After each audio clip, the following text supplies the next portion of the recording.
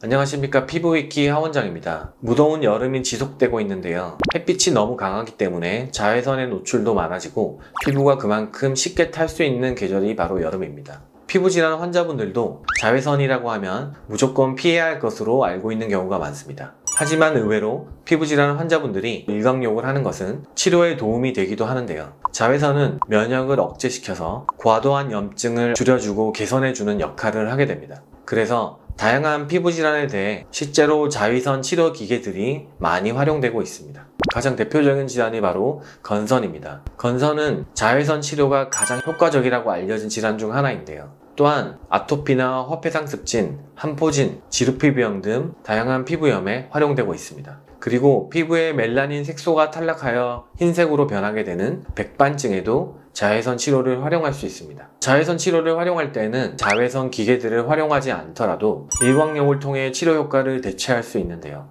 요즘과 같은 여름철에는 직사광선이 매우 강하기 때문에 햇빛이 많은 대낮에는 10분 정도, 아침과 오후에는 약 20분 정도를 환부에 직접 쬐어주는 것만으로도 충분합니다. 겨울철이라면 햇빛이 강하지 않기 때문에 낮 시간대를 활용하여 30분 정도의 일광욕을 해주는 것이 치료에 도움이 될 수 있습니다. 하지만 지금 말씀드린 시간은 개인의 피부의 성질에 따라서 달라질 수가 있는데요. 피부가 쉽게 타시는 분들은 일광 화상을 입을 수 있으므로 적은 시간부터 시작하여 조금씩 시간을 늘려나가는 것을 추천드립니다. 너무 긴 시간 동안의 일광욕을 하는 것은 삼가해 주시고 환무가 호전되었다면 과도한 일광욕을 하지 않는 것이 좋습니다.